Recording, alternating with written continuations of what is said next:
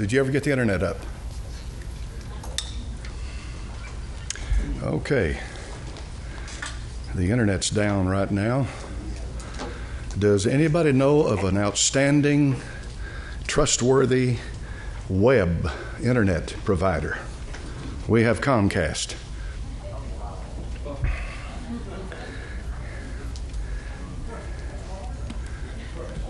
See, when the, when the web's down, folks, we're not broadcasting.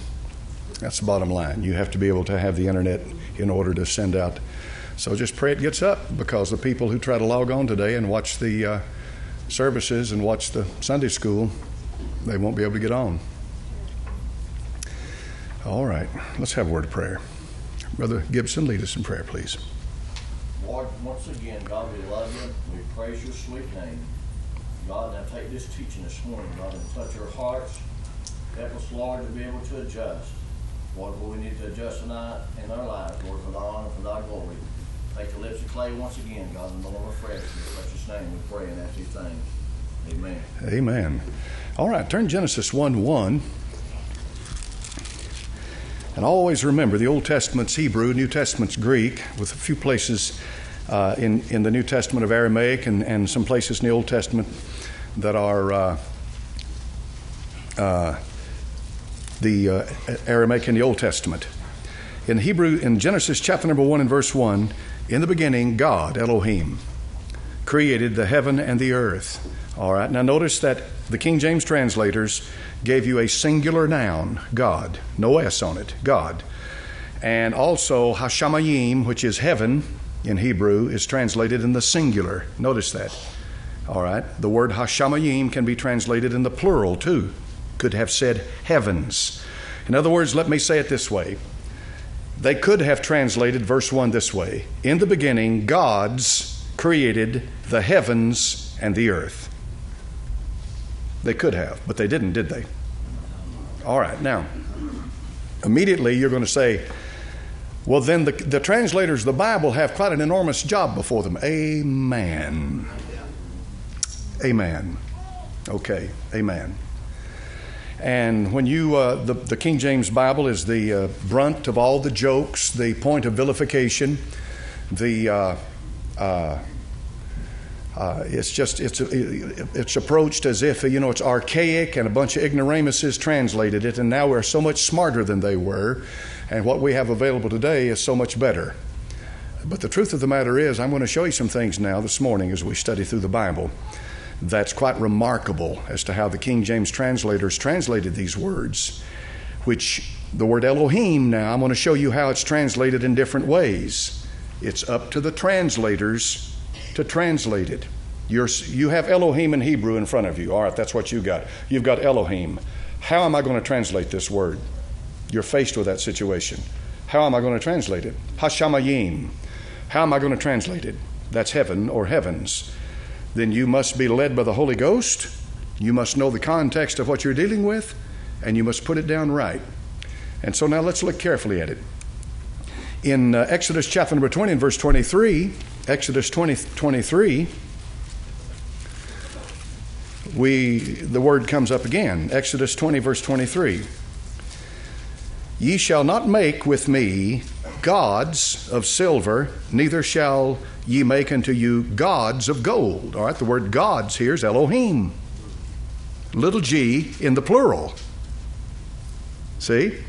Same Hebrew word translated in an entirely different way.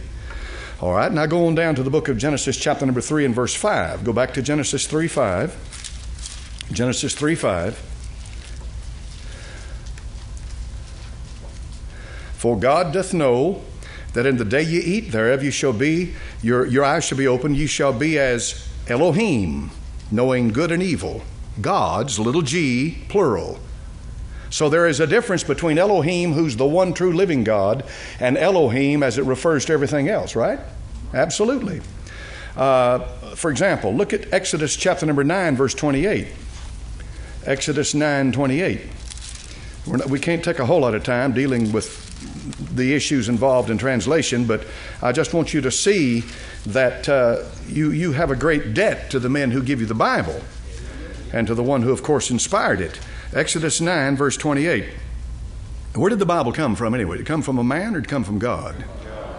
It came from God. Exodus 9, verse 28.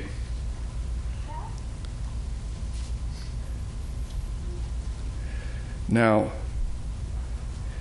look at verse 28. Entreat Jehovah, the Lord God, for it is enough that there be no more mighty thunderings and hail, and I will let you go, and ye shall stay no longer. Now, the word Elohim is in that verse in Hebrew. Can you guess which word was translated from Elohim into English? What word you've got in front of you? No, Lord is Jehovah, the Tetragrammaton, Yod He Vav He. What word? What? Somebody got it. Mighty. Mighty. Elohim is translated mighty in this verse. Now you're beginning to see the differences of what you're dealing with in the Bible. In the book of Exodus, chapter number 22, this will be the last one on this one. Exodus 22, verse number 9. Exodus 22, 9.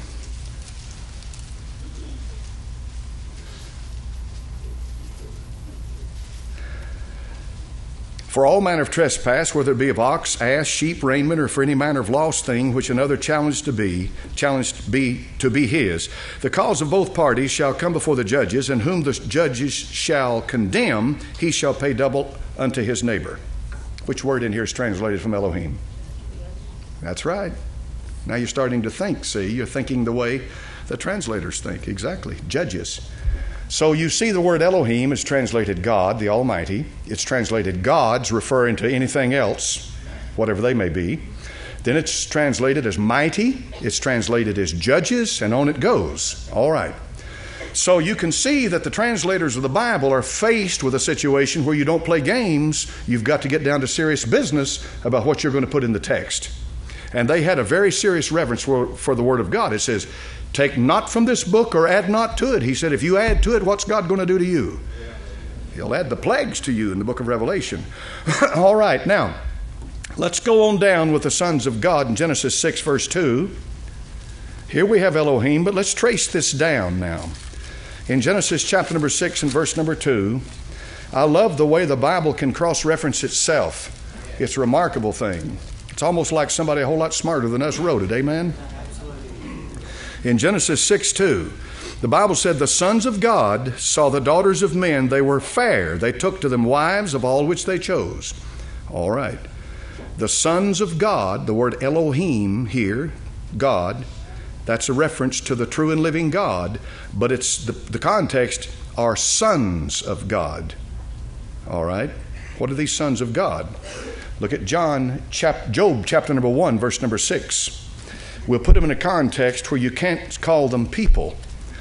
The scripture puts them where there's no way that a human being could fit this sons of God. Look at Job chapter number 1, verse 6. There was a day when the sons of God came to present themselves before the Lord, and Satan came also among them. Now, did that happen on earth? No, that happened in heaven or the heavens. What's going on here? Well, we have spirit beings coming before the Almighty Spirit, for God is a spirit. All right? And they're called sons of God. In the book of Job, chapter number 38, verse 7, because Job deals with the sons of God, here's something else he says about them. In Job chapter number 38 and verse 7. When all the morning stars sang together and all the sons of God shouted for joy. The context is what? The foundation of the earth. In verses 4, 5, and 6, the creation. So it's obvious that spirit beings preceded physical creation. Right? And it's, and it's obvious, as I've said to you time and time and time and time and time again, everything physical that you see or even understand or comprehend, everything, everything physical came forth from an, from an, from an invisible spirit being God. Amen. So therefore it came forth from an invisible being that cannot be known, cannot be touched, cannot be found out, cannot be understood, lest he reveal himself, make himself known. He resides apart from his creation. He could have made every, and did make everything that exists. It will exist and continue on. He upholds it by the word of his power, Colossians 1. Everything that is in creation that was created by the Creator has its function and its place, but the Creator himself is unknown could never be known, could never be found out. 10,000 billion lifetimes, ages upon ages, could come and go, and that invisible, eternal spirit being would reside alone, and they would never know him, right? Absolutely.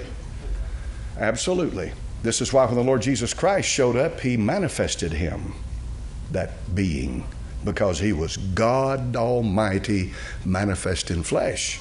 Okay, now in Job, we have the sons of God. Now we've got a little bit about these sons of God. Let's go back to Psalm chapter number 82 and verse 6. Psalm 82, verse 6. We're coming back to Elohim again in Psalm 82, verse 6. I have said, Ye are gods, and all of you are children of the Most High. Okay, now if it didn't go any further than that, you could say, well, he's talking about men. But there's a problem here. The problem is the next verse. But ye shall die like men and fall like one of the princes. All right? These are Elohim, Elohim, gods, translated in your Bible, and they shall die like men. Now, why would it be if I said to you, you're going to die like a man? Well, that's nothing. I haven't said anything. A man dies like a man, of course he does. That's understood. You don't have to say it. But if you said that a creature that's not a man would die like a man, then you've said something, right? Yes, you have. Now, we're not left with that. Come to the New Testament and watch how the New Testament uses that scripture. Watch how the New Testament comments on what you just read in Psalm. Look at John 10. John chapter number 10, in verses 34 through 36. I have yet to see a charismatic Every charismatic that I've ever listened to, as they teach this scripture, they all agree on the same thing. And I don't agree with them, but they all agree in their understanding of the scripture. In John 10, verse 34, Jesus answered them, Is it not written in your law, I said you're gods? If he called them gods, now watch carefully, don't jump to assumptions. If he called them gods unto whom the word of God came, and the scripture cannot be broken, say ye of himself, of him, of Christ himself, whom the Father hath sanctified and sent into the world, thou blasphemest, because I said, I am the Son of God? Now you have to have a little more scripture with that to begin to understand what he's talking about.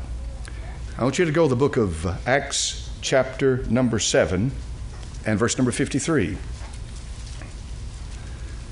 Acts 7:53. Acts 7:53.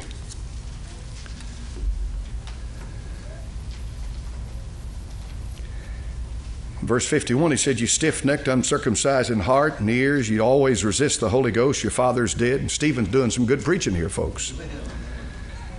Which of the prophets have, your, have not your fathers persecuted? They've slain them, which showed before the coming of the just one, of whom you've been now the betrayers and murderers. Who, watch this, received the law by the what? Angels are introduced into the giving or the transmission of the law. Isn't that interesting?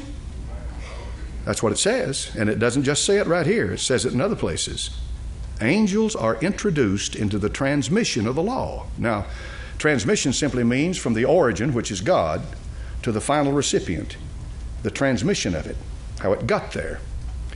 All right, now go on the book of Genesis, chapter number 3, and verse number 19.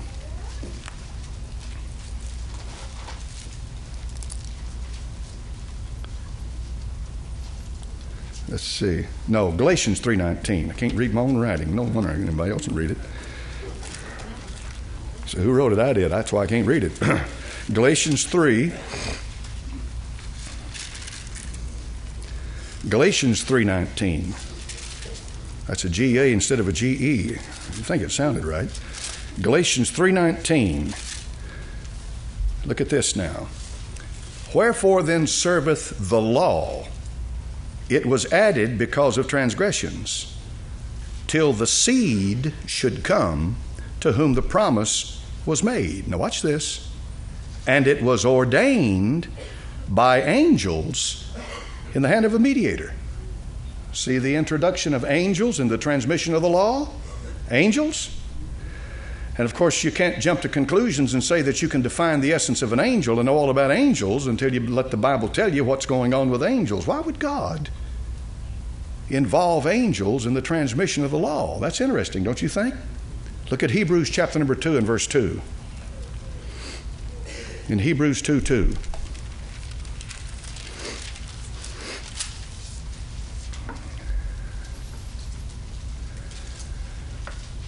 Hebrews 2 2, for if the word spoken by what?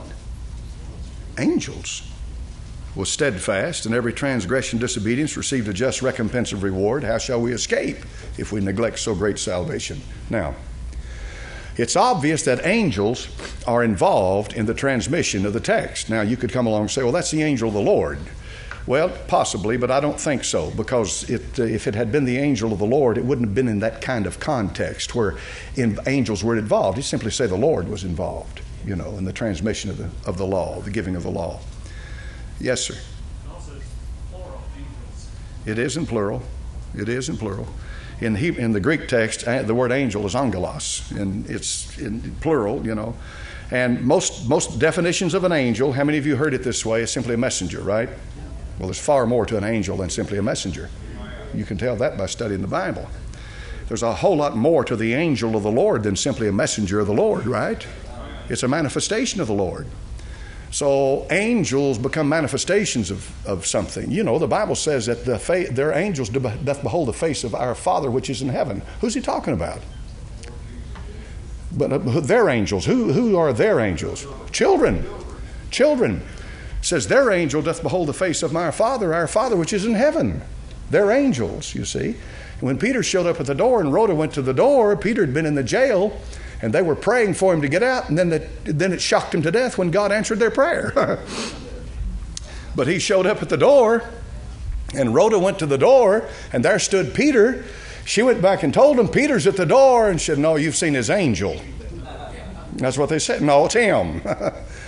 So, in any event, the word angel, as it's used in the Bible, has a much broader meaning than simply a messenger. Certainly is a messenger, but it's far more than that. Right, right.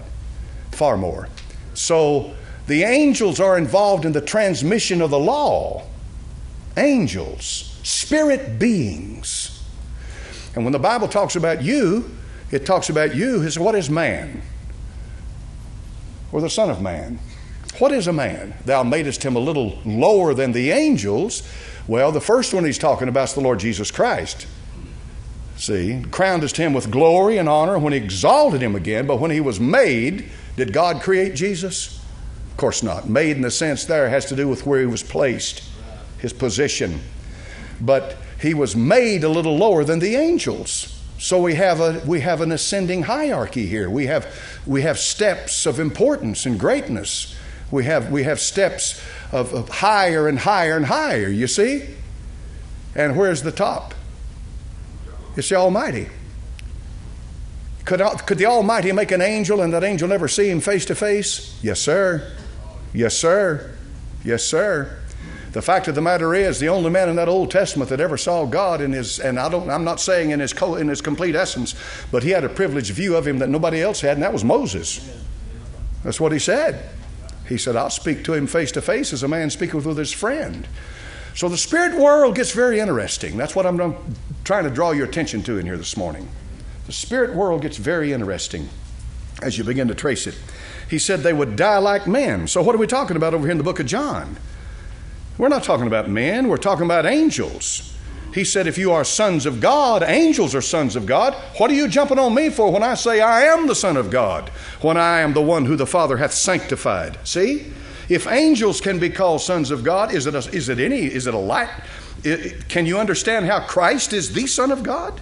Of course. That's what he's saying to them. He's using a comparison between himself and creatures. The Lord Jesus is the creator, not a creature, but the angels are creatures. The Lord Jesus Christ is God, everything else is a creature. Let's put it that way, simply. Yes, sir. All right? There are spirit beings. The Hebrew word translated seraphim is not really translated, it's a transliteration. Seraph is the basic noun uh, form of it, and it means to burn. That's what it means, the burning ones. When they show up in the Bible, they show up as a ball of fire crying, Holy, holy, holy. That's their purpose in existence, I suppose, is that they are near the Holy of Holies, and when they fly, they call, they cry, Holy, holy, holy is the Lord God Almighty, a ball of fire. That's what a seraphim is. If you'll read in Isaiah 6, they took the, the um, coals of the altar and purged Isaiah's lip. A cherubim, there are five of them. It's the Hebrew word cherub which is so unclear in its meaning because the meaning of a cherubim has to be found out in Scripture. Ezekiel gives you what one looks like at the time of Ezekiel. He had the face of a lion, face of an ox, face of a man, face of an eagle. Therefore, it is a multi faceted thing, just like that creature that comes up out of the Mediterranean in Revelation 13. You know, the Antichrist. It is a composition, it's a composite creature, it's the joining together of many. Satan is the anointed cherub that covereth. Satan is not an angel, he's not a fallen angel, he's not a demon, he's a cherubim. And he fell. That left four around the throne of God. Studying the scripture, you'll find that cherubim are the closest to the throne of God than anything else. For they stood and their wings connected inside the very temple, and they looked down upon the mercy seat. When that high priest walked in there in the presence of God, on one hand was a cherubim, and on the other hand was a cherubim. They were in the Holy of Holies. So that gives them access and privilege to a place that nothing else had access and privilege to. But the thing about a cherubim is that it has some kind of a connection between God and His creation. Because when God made a cherubim with the face of a man, the face of a lion, the face of an ox, and the face of an eagle, you have to ask yourself this question Is that what they looked, looked like before the first man, ox, eagle was ever made? In other words, before God ever made a man, before he ever made an ox, before he ever made an eagle, before he ever made any of this, did he make a cherubim? Did they have these four faces then when he made them originally? They appeared that way in Ezekiel, but did they have these four faces originally? If they did, they had the face of a creature that at that time did not even exist. That's something. That's something to think about. Are you following me? How so carefully God is involved in His creation. Every detail of every aspect of every moment of history was already settled before, we, before it was ever made. And so the cherubim, the fifth one, the fifth cherub, fell, and when he fell, he became the, uh, the uh, in a sense, a devil, the diablos, the slanderer, the one who opposes God and his work. But his true name is Lucifer in Isaiah 14, the light bearer. Well, that's a, that's, that's a point right there. When you say there's God, then there's the cherubim, or you can say there's God, then there's Satan, second only to God. And this is one of those things that it's kind of hard to you can't nail a scripture down that, uh, for example, I've got Gabriel on my mind and Michael, and Michael contended with him over the body of Moses and said, The Lord rebuked thee. But when it comes to Gabriel, he said, I, his name means man of God. He said, I am the one that stands in the presence of the Lord. And he came and announced to Mary the birth of Christ. Yes, sir.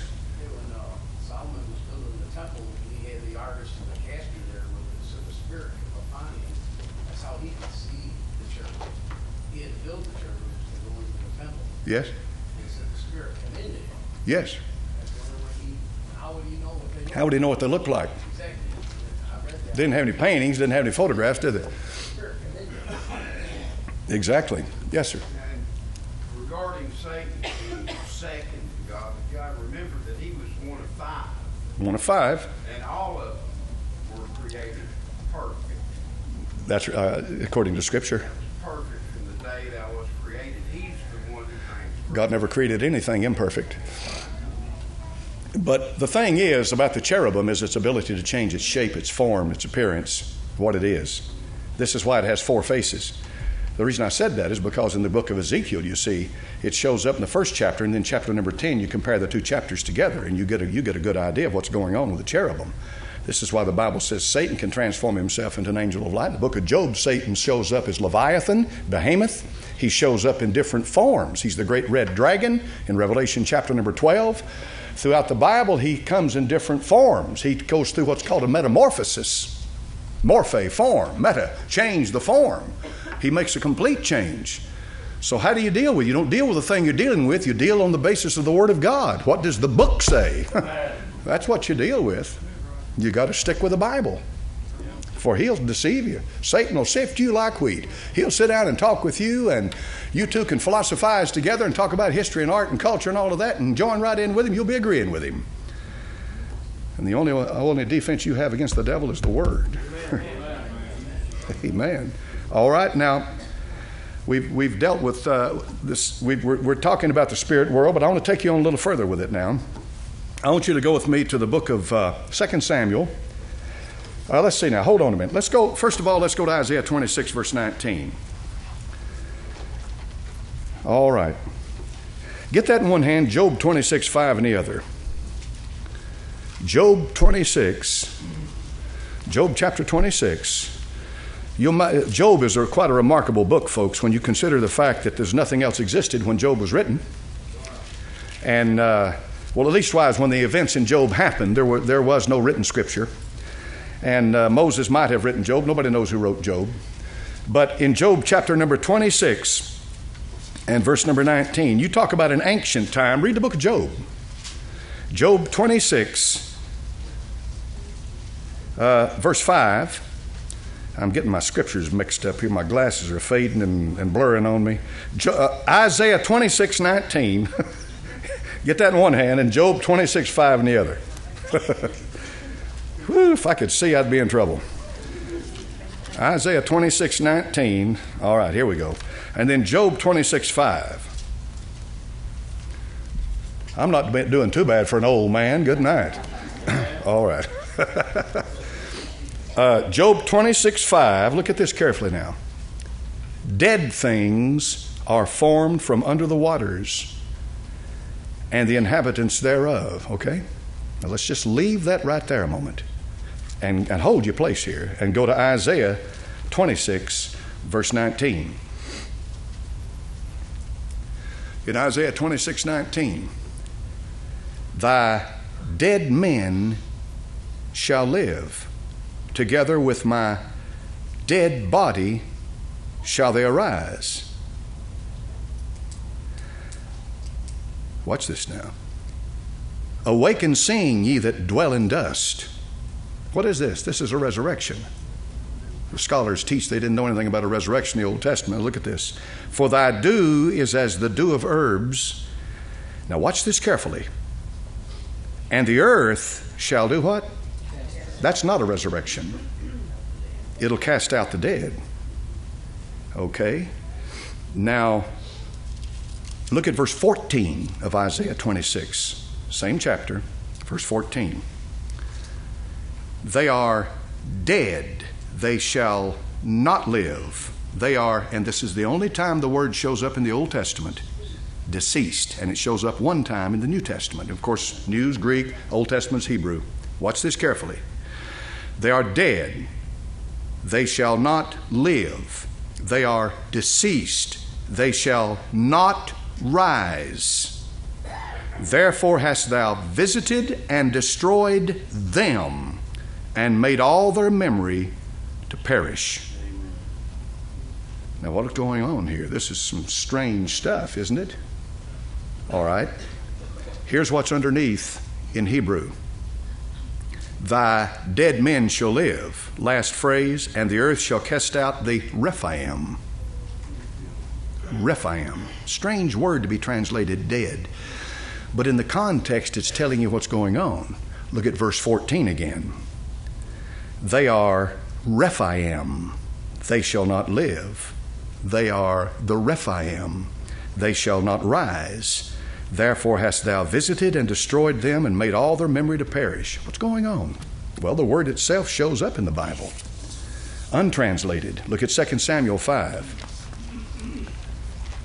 See, sometimes they translate the word and sometimes they don't. For example, Jehovah shows up a number of times in the Old Testament untranslated.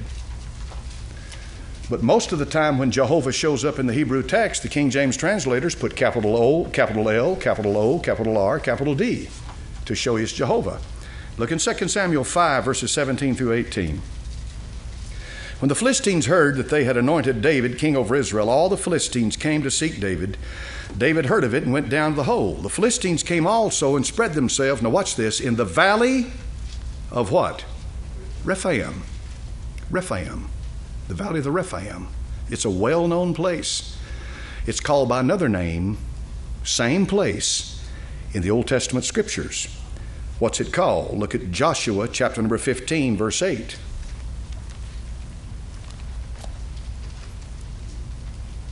Joshua 15, 8.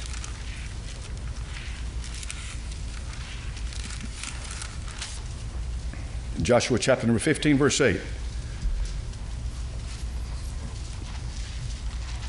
And the border went up by the valley of the son of Hinnom unto the south side of the Jebusite, and the same as Jerusalem. The Jebusites were there first, and David drove them out, folks. And when he did, it became the capital of Israel, regardless of what any Egyptian has to say about it. Jerusalem is the capital of Israel.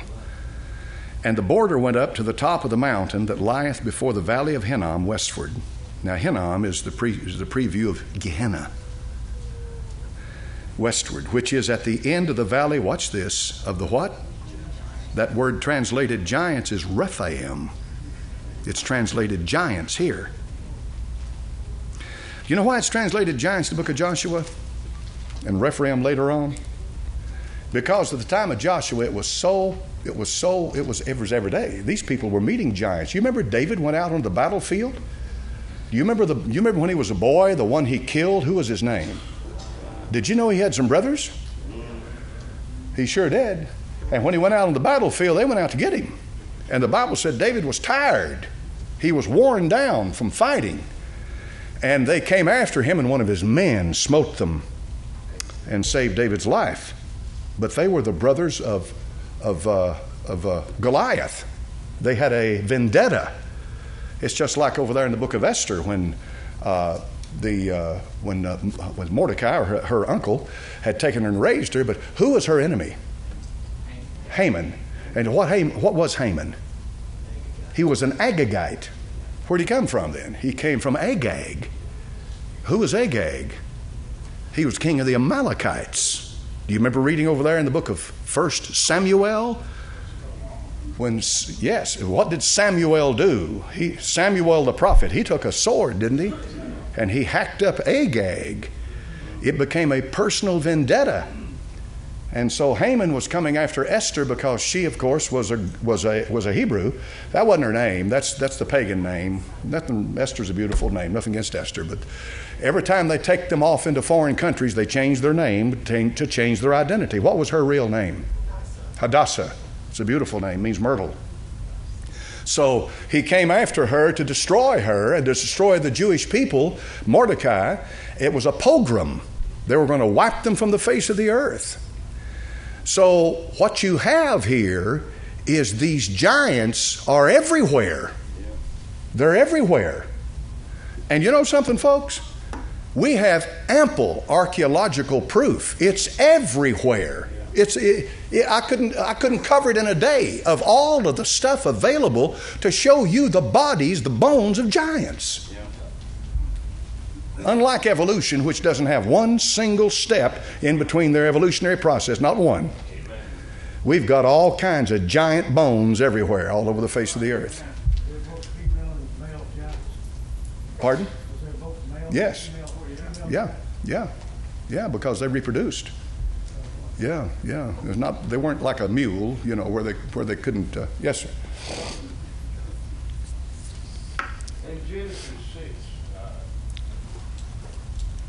of course, the giants were the, the, the progeny of angels with women, where did these giants?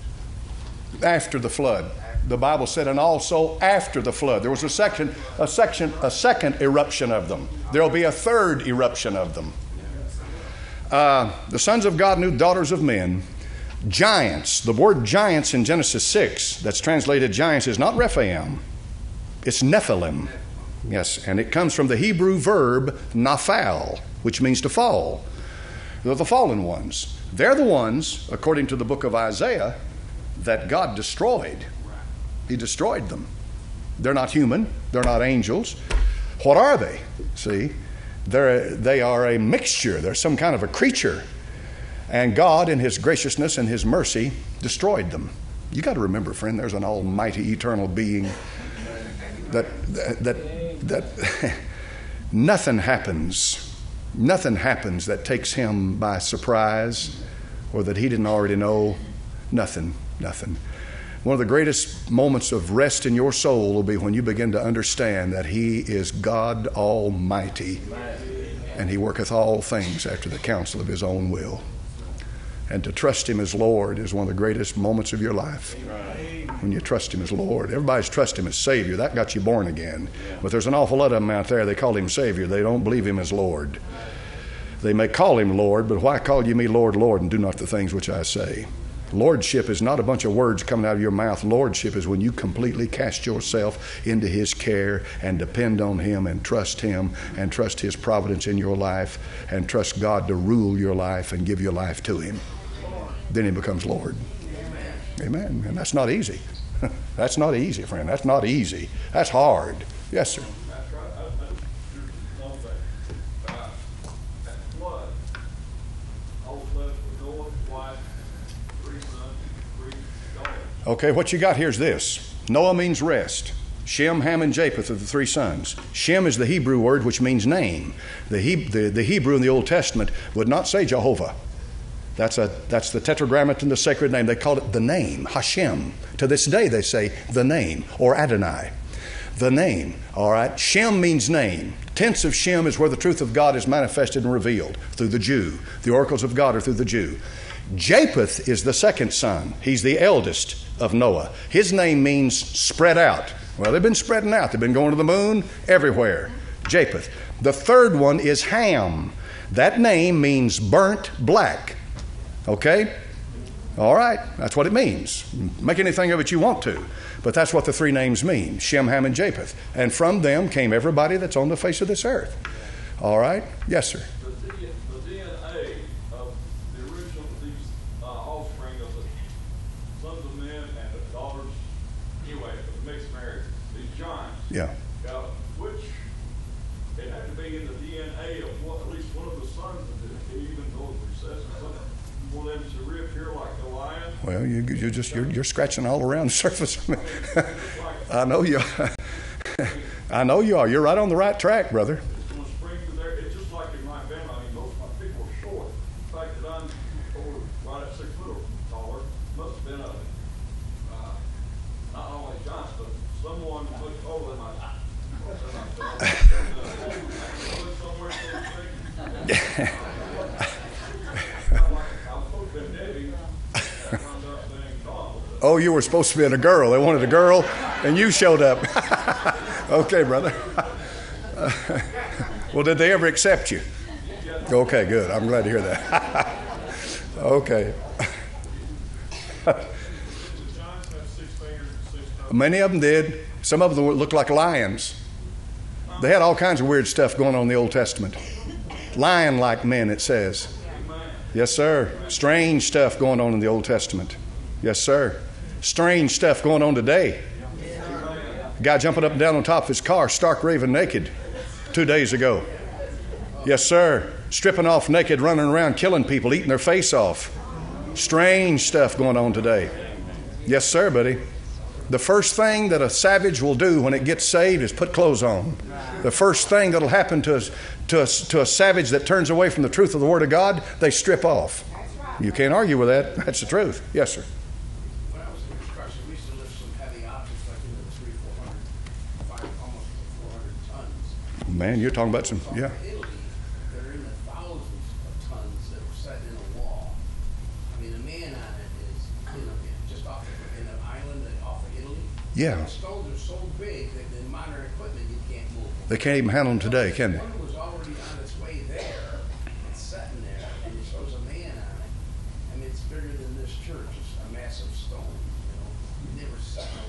Well, there's some images down there in Chile that they showed you the head of for so long. Now they've begun to dig on, dig on down into the ground. They found it's not just a head; it's a whole body. Huge thing. Yeah. Yeah. in Genesis chapter 6, verse 4, it says, There were giants in the earth in those days, And also after that, also after that. That that after the after the flood, after the flood. they continued to fall and have intercourse with women and all through history. And what do you think's going on today? Every one of them. What do you think's happening now? The Bible said three unclean spirits like frogs and beast, the false prophet. Yes, sir. Yes, ma'am. Yeah. They said that for some reason while these kids out here today are snorting bath, salts. and for some, did you say that for some reason they are, you know the reason? They found no drugs in this guy's system. This, this, this one they didn't. This last one, no drugs. But he's demon possessed. There's no doubt about that.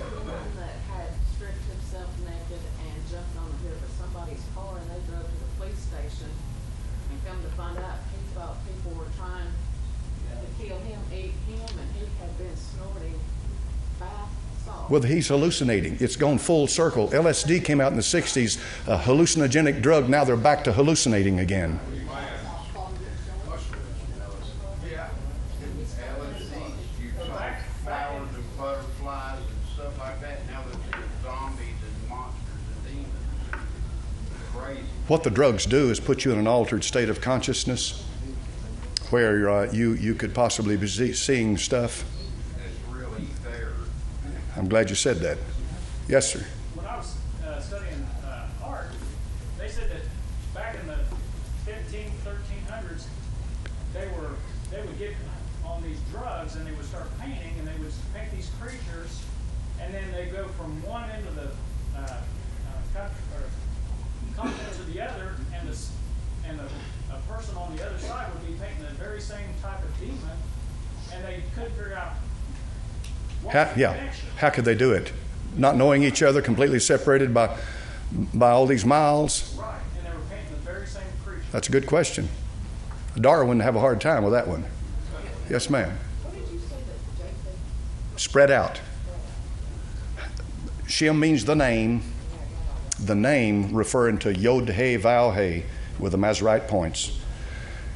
Japheth spread out and Ham burnt black. Okay, anybody, anything else about what we've covered? I didn't even get into the demons, folks. We haven't even got into them yet. Yes, sir. Can't you trace all the giants after the flood back to Ham?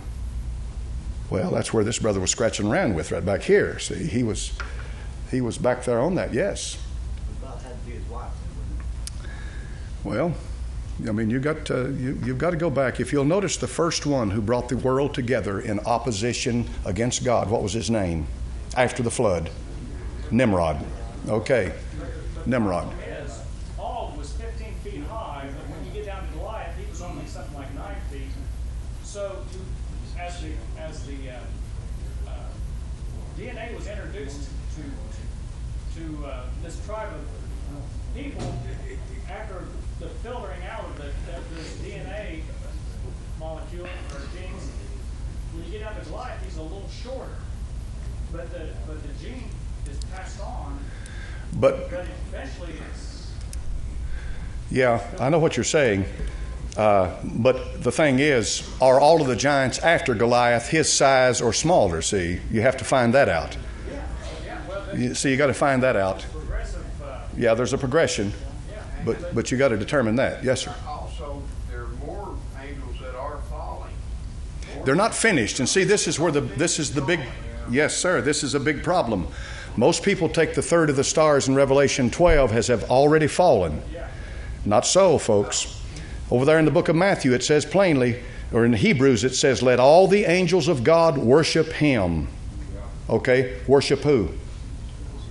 That meant that the angels had to make a conscious decision to worship that baby in that manger that was the God man, God manifest in the flesh. They had to choose to worship that baby or reject to worship that baby. That's right, because remember, an angel's a creature. You're a little lower than them, but a little. They're creatures. They had to make a choice to worship the Lord Jesus Christ. If they worshiped Him, they remained holy angels. If they did not worship Him, they rejected God manifest in the flesh. And in the book of Revelation, it says that this war in heaven between Michael and his angels and Satan and his angels, there was war in heaven, and the Bible said they prevailed not, neither was their place found any more in heaven. So Satan, the accuser of the brethren, is cast out, and with him his angels. His tail drew a third part of the angels of heaven. They, they make that casting out as the original casting out, where the Lord said, I saw Satan as lightning fall from heaven, but not so. This is when he, right now, he's accusing the brethren. He has that access, he still has that access, that place where he can accuse, but the Bible says in Revelation that he is cast down to the earth, and he knoweth he hath but a short time. Satan knows his days are numbered once he is cast out of that position of, of Job, where the sons of God and the daughters, the sons of God, and he's in the midst of them, accusing men. The day's going to come when he's cast out of that position. You remember I brought you a message not too long about the pro- progressive fall of Satan. Every step of Satan downward until he, find, until he finally winds up in the bottomless pit and in the, and, the, and the bottom of the lake of fire. And that's his eventually where he's going to be. We've run out of time. Yeah. It says we'll judge him, doesn't it? It says we'll judge him. It says we'll judge angels. So, uh, you know, this spirit world we're talking about here, folks, most of the churches in this country, when you walk through the door, you're walking into a demon possessed hellhole. And the surest sign, the surest sign of knowing where you are is what they do about the Lord Jesus Christ. A church that is demon possessed cannot exalt the Lord Jesus Christ the way he ought to be exalted. He is God Almighty, He's the God man. Everything is lower than Him. There's only one name given among men whereby we must be saved, and He has exalted that name above every name. That at the name of Jesus, if you hold on to that and hold that spirit in your heart and in your soul, you put a wall between you and demons and Satan that is impregnable. He can't cross it. But open yourself up to humanism and self love and all the rest of that garbage, and you've opened the door immediately for demon possession and demonism. Brother Crane, dismiss us, please.